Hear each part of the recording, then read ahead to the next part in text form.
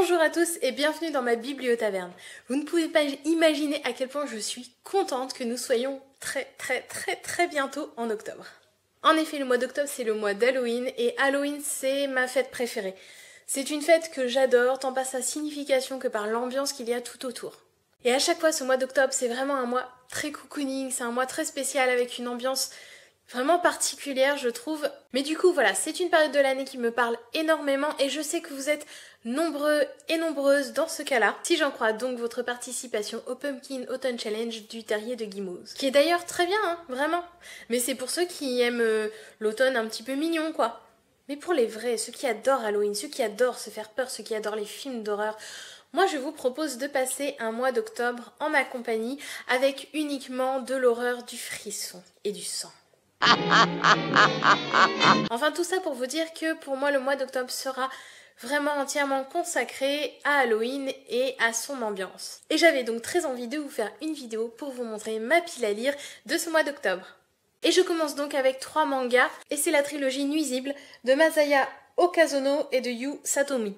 Et c'est aux éditions Kana.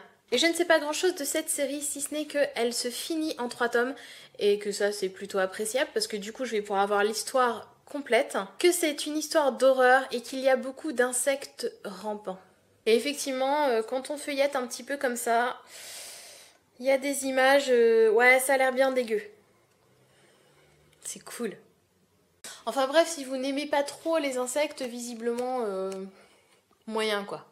Ensuite, j'aimerais beaucoup lire un polar de Karine Giebel.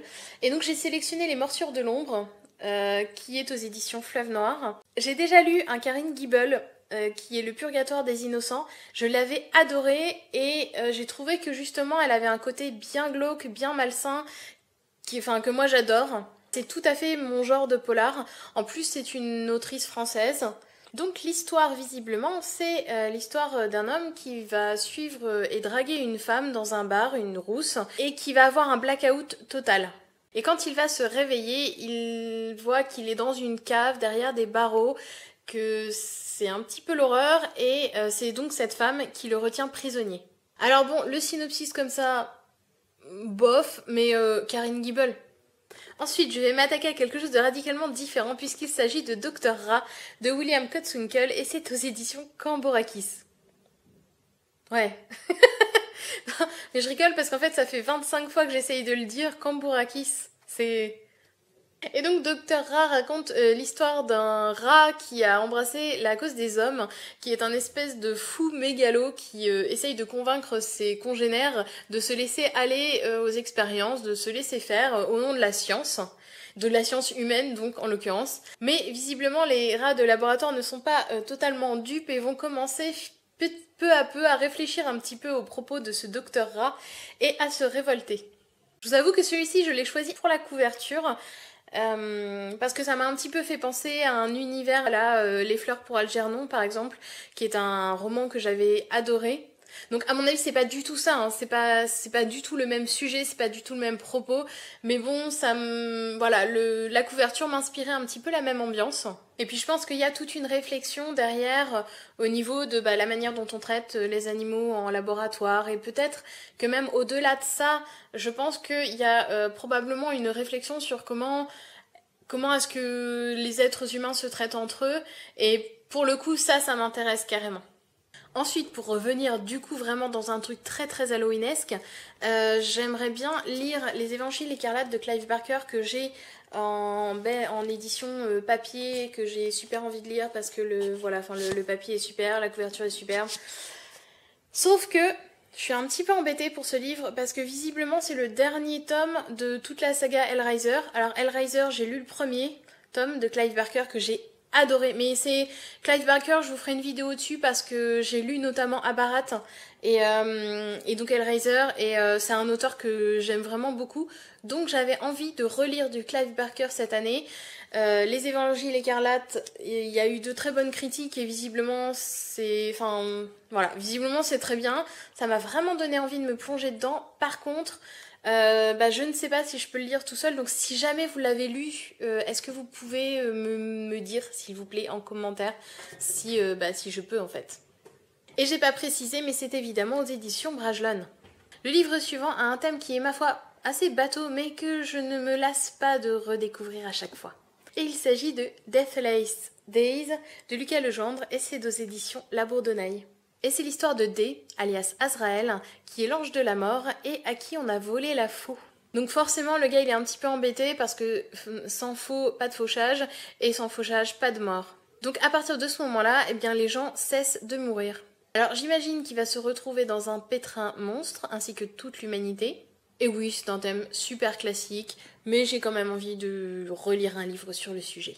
L'avant-dernier livre que j'avais envie de vous présenter, c'est un livre d'une autrice que vous allez reconnaître et qui est un de mes gros coups de cœur de l'année dernière. Et il s'agit de Justine Niegré avec Gueule de Truie. Donc je suis ravie d'avoir pu euh, trouver Gueule de Truie à la bibliothèque parce qu'il est épuisé malheureusement. Alors là on va se retrouver dans une ambiance typique post-apo où donc la Terre est complètement détruite et donc selon euh, un espèce d'ordre religieux c'est évidemment Dieu lui-même qui a voulu détruire la Terre et tout ce qui s'y trouve donc ils estiment que leur but c'est de, bah, de soutenir un petit peu ce Dieu en tuant euh, tout le reste, tout ce qui reste. Et Gueule de Truie est un inquisiteur à leur service. Tout se passe bien pour lui, il extermine à tour de bras énormément de résistants jusqu'au jour où il va tomber sur une fille très mystérieuse qui parle très très peu et qui a une boîte avec elle. Bon bah voilà, est-ce que j'ai besoin d'en dire plus? Non, de toute façon c'est Justine Niegré, donc de toute façon je vais le lire ce livre, je vais le dévorer. Et j'avoue que je suis même un tout petit peu pressée. Et le dernier livre de ma pile à lire de ce mois d'Halloween, c'est Tales from the Dark Side de Joe Hill et Gabriel Rodriguez. Alors il faut savoir que Joe Hill, c'est euh, l'auteur de Korn. Donc vous avez peut-être vu l'adaptation cinématographique avec euh, Daniel Radcliffe. Et avec euh, Gabriel Rodriguez, ils ont fait l'excellente série de comics qui s'appelle Lock and Key, que je vous conseille fortement. Et donc ils reviennent avec Tales from the Dark Side, qui est apparemment un recueil de nouvelles euh, sous forme de bande dessinée autour de euh, eh ben, du Dark Side, donc complètement dans le thème Halloween. En plus, connaissant euh, Joe Hill et Gabriel Rodriguez, ça va forcément nous parler aussi de la société et de nous. Probablement de notre rapport aux médias et à la consommation. Enfin, honnêtement, je pense qu'il y a tout pour me plaire là-dedans. Et j'espère vous avoir donné envie de le lire. Et encore une fois, j'ai oublié de vous dire de quelle maison d'édition c'était, et c'est évidemment Milady. Je crois que j'ai un problème avec les maisons d'édition. À chaque fois, je suis obligée de, retourner euh, parce que j'oublie à chaque fois les maisons d'édition. C'est quand même incroyable. Voilà, c'est tout pour cette pile à lire spéciale mois d'octobre, spéciale Halloween. J'espère que vous serez nombreux à me rejoindre sur ce projet. Je vais pas en faire un challenge, je vais pas lancer le, challenge comme ça, parce que, enfin, il y a déjà beaucoup de challenges qui tournent autour d'Halloween, autour de l'automne. Donc pour cette année, on va rester comme ça, tranquille, à la cool.